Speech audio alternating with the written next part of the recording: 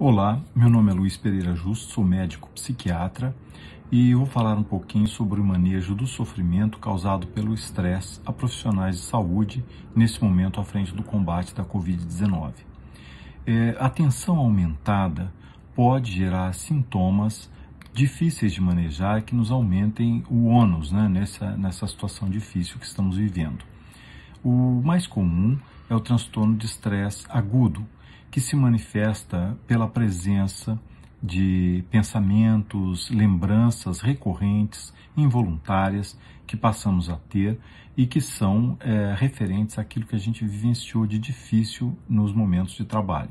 Além disso, podemos ter um aumento da irritabilidade, dificuldade de concentração, alterações do sono, com dificuldade de adormecer, acordar precoce ou pesadelos, e também alterações do apetite. Importante que algumas medidas fáceis podem nos aliviar em relação a isso.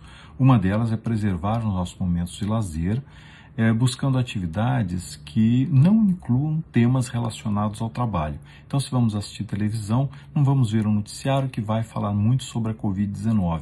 Vamos tentar um filme, é, um programa de comédia, alguma coisa que nos desvie do tema. Quem conhece técnicas de meditação pode usar isso também para o alívio do estresse. Às vezes, a gente não consegue só com essas medidas é, é, contornar né, as dificuldades que estamos tendo. Aí vale a procura de ajuda é, através de um profissional de saúde mental, um psicólogo e eventualmente um psiquiatra. Muitas vezes falar sobre o tema já traz o alívio que a gente busca e o profissional pode nos ajudar é, sendo nosso interlocutor.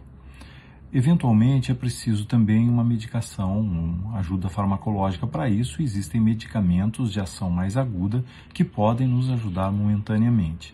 Importante que, estando em sofrimento, busquemos ajuda e não nos exponhamos a, a um sofrimento ainda maior pela permanência dessa situação é, as pessoas que estão à frente da, do combate da Covid-19 já são muito fortes por fazerem isso. Não estarão é, demonstrando nenhuma fraqueza se buscarem ajuda. Obrigado.